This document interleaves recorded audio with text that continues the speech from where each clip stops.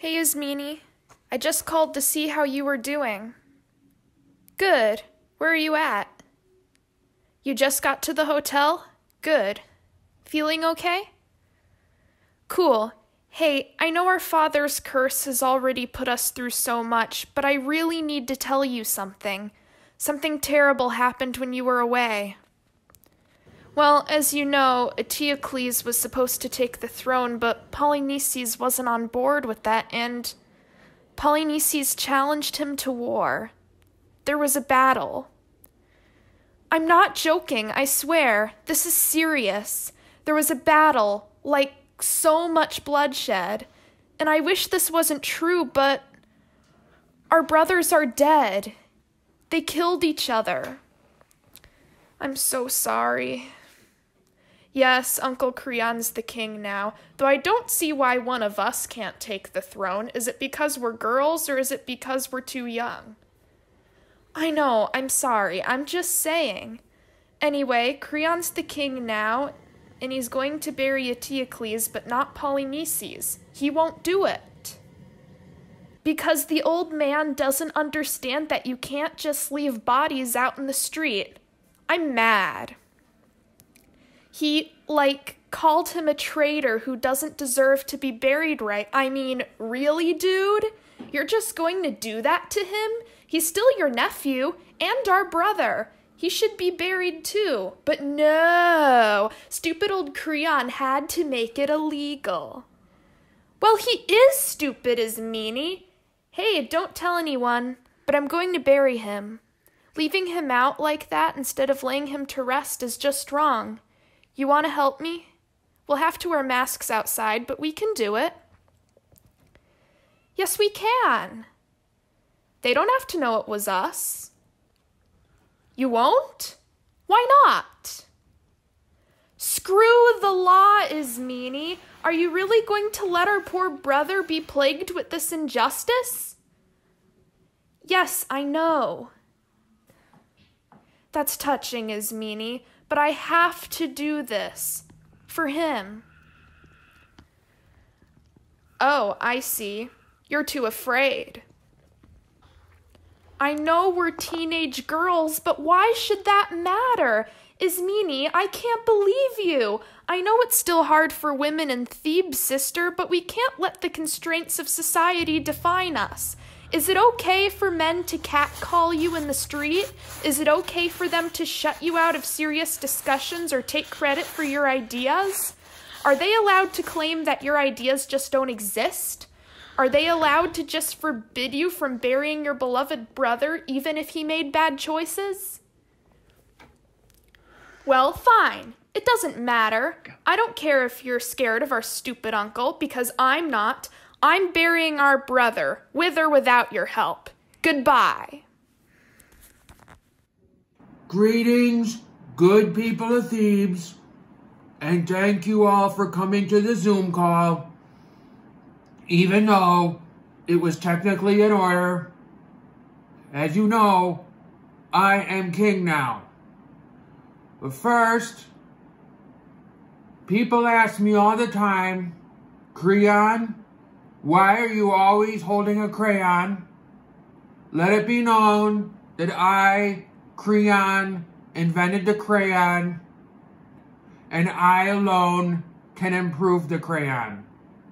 So when you think crayon, think Creon. Now to business. I must make an announcement. Both princes of Thebes have perished. A grave loss for our family and for Thebes. I hereby decree that my dear nephew, Eteocles, for his loyalty and patriotism, and because he was rightful heir to the throne, the throne that I myself now humbly occupy, will be given a grand funeral and buried with military honors.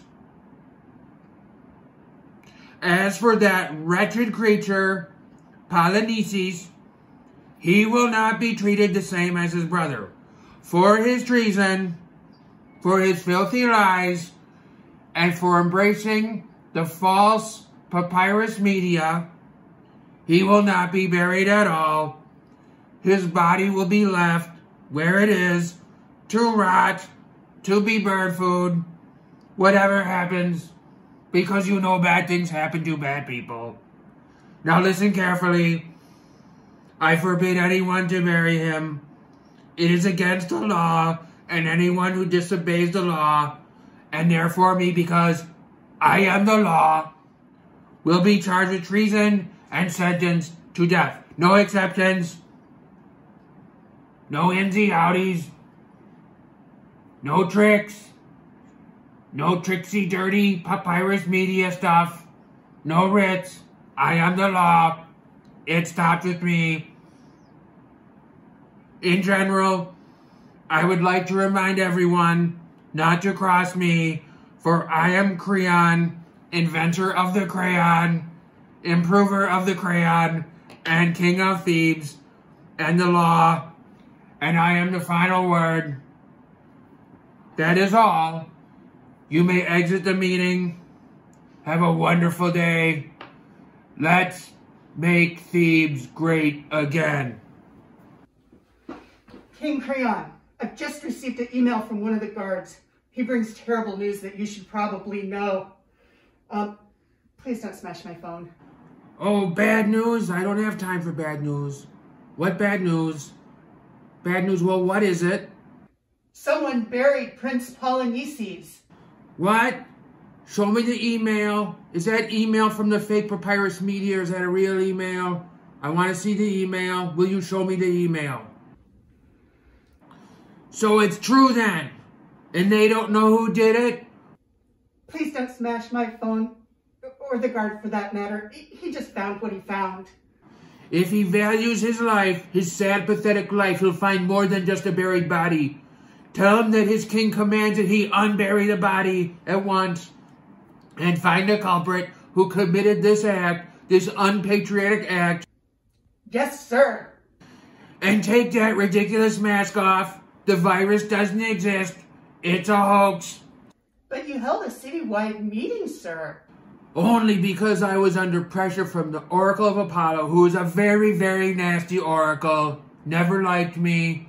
He's always had a witch hunt for me. Don't like him. Nasty oracle. But you gotta do what you're told to do by the oracle. So anyway, now do as you're told. Yes, sir. I will find that little miscreant and crush him. Mark my words. I do not doubt your abilities, sir. Who would disobey you? But who could this little miscreant, as you say, possibly be? Oh, Polynices, I'm so sorry. They've dishonored you again. That's like so not cool, man. But it's okay. I'm here. I'm here to bury you again. Antigone's here. Here to bury you again as any good sister would. Rest in peace, brother. Princess Antigone, you're under arrest. How dare you follow me here? Can't you see I'm in mourning? You will come with me at once. Your uncle will be most displeased, young lady. No, I'm not going with you. Antigone, it was you? Tell me this is not true. Gods, Uncle Creon, what am I going to lie to you about? Yes, I buried Polynices. He's my brother, so I buried him. That's the truth. I'm not joking. Happy? No, I am not happy. You broke the law, you little miscreant. My law. Your actions are punishable by death. Why did you do it anyway? I know Polynices made a bad choice by starting a war and spreading corona. Enough with corona. It's not real. It's an invention of the fake papyrus media. Evil messengers always talking about corona. It's not real. Stop it. And caused so much bloodshed and death. But he's still my brother, and I loved him. I believe that all human beings have the right to be laid to rest, to go to the underworld properly, What's wrong with that? I believe it's like the will of the gods, you know? Aren't you loyal? Antigone, don't make this harder than it really is. You screwed up. Young lady, you screwed up. Your cursed father, and I'm putting curse in capital C-U-R-S-E-D. Yes, your cursed father, he did one heck of a job of raising you. You broke the law. Your law is stupid. Buried a traitor. He's my brother. My brother, not yours. Wore yoga pants in public They're a comfortable garment, and they do not define my dignity. and spread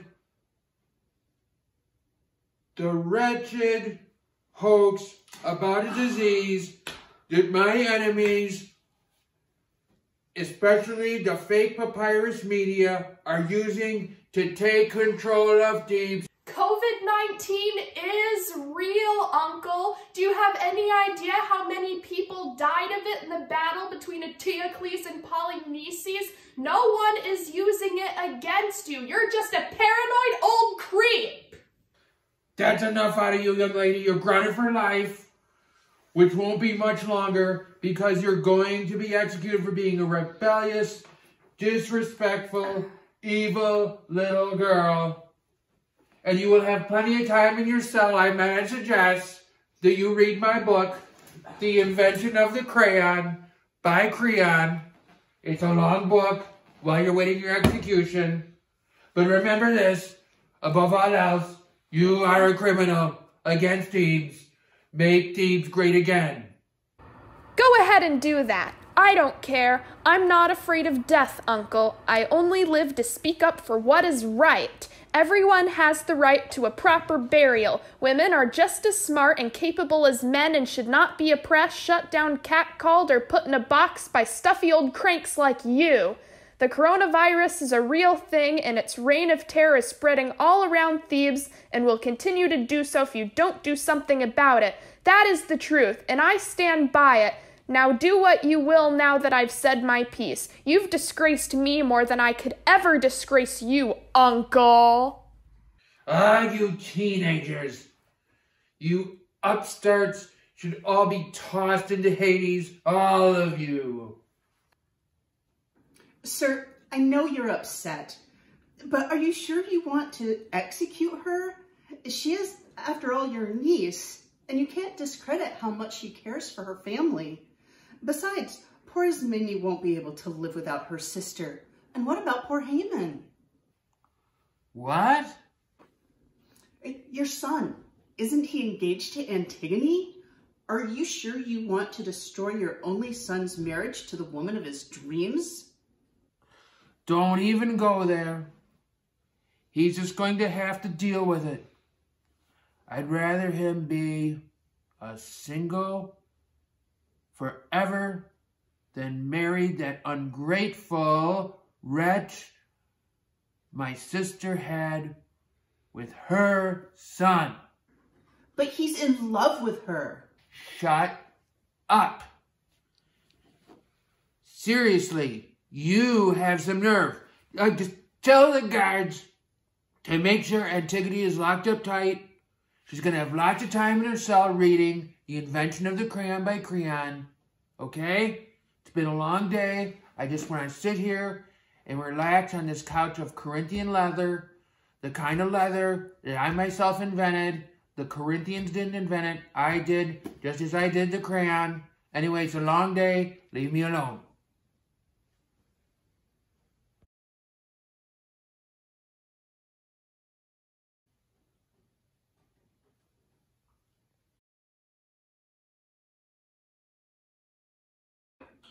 So young Haemon didn't take it well?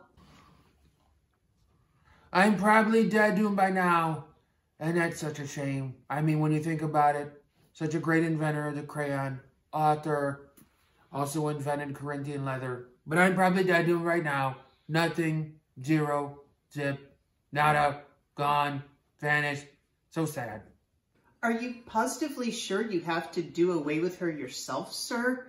Is there anything else you can do to soften the blow? Does she truly have to die? Just think. That's all I'm saying. I've got it. We'll lock her in a stone vault with this book, The Invention of the Crayon by Creon. She'll be there the rest of time. She can read the book over and over. It's the only book she'll ever have, even though I've written other great books. And I'll also give her a crayon if she wants to draw some pictures. If she lives or dies, we will have nothing to do with it, especially not me. Especially not me, and her fate will be in the hands of the gods. That's gods with a small g, by the way. Remember, I am the king with a capital K. But the hands of the gods she loves so much, and no one can blame me directly. It's off the record. Nobody can blame me if the worst happens. Very well, sir, if you're sure. Well, here I am. It is almost time for me to leave this world behind and be entombed within rock for the rest of my life. The curse of Oedipus, my father's curse, continues to plague our family and tear it apart. His death cannot stop his incest from ruining my marriage.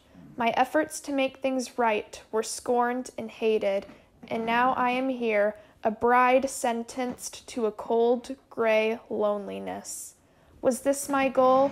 No, it wasn't. Am I angry, defeated, full of hate? No, I am proud. I am proud of the strong woman I've grown to be in my short time on this earth, and may the gods know this. I am not afraid of death. If it is my time, as young as I am, I will greet death bravely and kindly when he comes to take me to the last place we go, and I will go with him. In fact, I thank him for allowing me to see my parents and my poor sweet brother Polynices again. If this is the only way for us to reunite, then so be it. I will die knowing that I did the right thing. No one can take my morals or my heart away from me. For that I am happy. Cursed uncle, May you pay for your crime, because you, Creon, are the guilty one. I hope that I am the last daughter in this family to suffer this way, and that you will remember me and my fate. Remember what I did, why I did it, and what this means for Thebes, because, my friends, it is time for me to go. And so, goodbye. Tiresias says that his news concerns my fate. He says, You have brought trouble to Thebes. The heavens are unhappy. Are you sure you don't want to use this? Okay. The problem stems from your refusal to bury your nephew. The virus is not the only thing hurting the city corruption spreads ever faster. Fake news. The land is still cursed. What? Shouldn't this old curse be over by now? You lie, just like the fake papyrus media.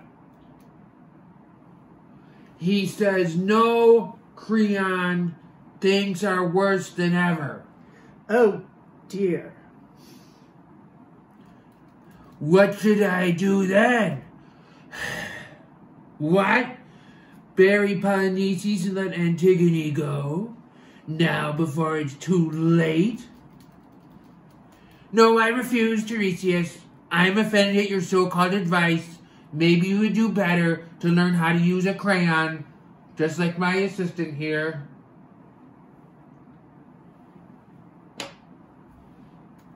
You are a liar and a cheat. You've sold out. Your prophecies aren't worth a crap, you old man. I am the king, and I make the rules. Sick in the head? I am not sick in the head. I will never give in, Tiresias, if that is your real name. And you have wasted my time. Goodbye. The nerve of him. The nerve of everybody. Sir, if I may, I, I can't help but believe him. I'm very troubled by his words. That wouldn't have happened if you used a crayon. You really should do as he says. I, something bad will likely happen if we don't make amends for what you did. I know it doesn't seem it to you now, but how much are you willing to risk, Creon? Hubris is never the solution. It, it only makes things worse. You don't argue with destiny. Besides, the people of Thebes are already protesting. It's only going to get more chaotic from here. I know. I'm uncomfortable too. First of all, I don't have my emotional support crayon. Thank you very much. Now I feel a little better. Just a little bit though. Just a little. It's just so hard for me, Miss Choragos. As my longtime secretary advisor, you wouldn't lead me astray, would you?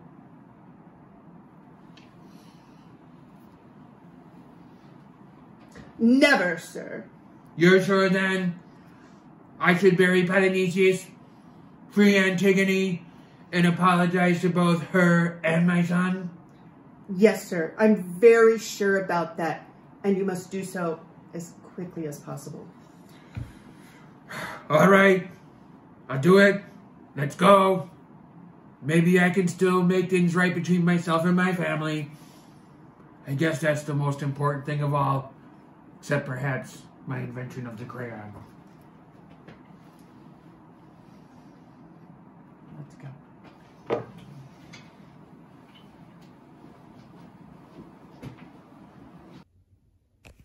No!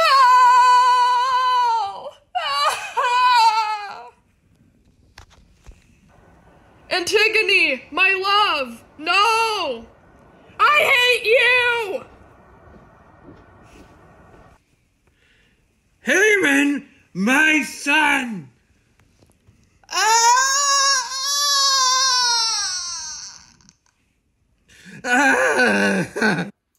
Good people of Thebes, thank you all for coming to this meeting. I'm here on behalf of King Creon, who is still grieving over recent tragic events. He will address these himself when he is ready, but until then, it is my duty to explain to you what has happened. The king tried to make up for what he did. He went to the stone vault to free the Princess Antigone, only to find that she had hung herself. His heartbroken son Haemon, to whom Antigone was engaged to be married, was there in the vault, crying over her dead body. He killed himself shortly after yelling hateful curses at his father. In response to the death of her son, Queen Eurydice took her own life by stabbing herself in the chest, leaving the king alone and emotionally broken. As if the blood of the first family wasn't enough, thousands have died from war and from the virus, which continues to spread throughout Thebes. But under new rule from the king, extra precautions will be made to protect the people of Thebes, in tune with the last wishes of Princess Antigone. The king would like me to tell you that as long as we learn from our mistakes and stand strong together, the curse will be lifted completely from Thebes, and the city will heal someday. However, we must remember these grave losses and support one another in the best ways that we can through the aftermath of these horrific happenings, all while standing six feet apart. That is all. Thank you. Be safe and good night.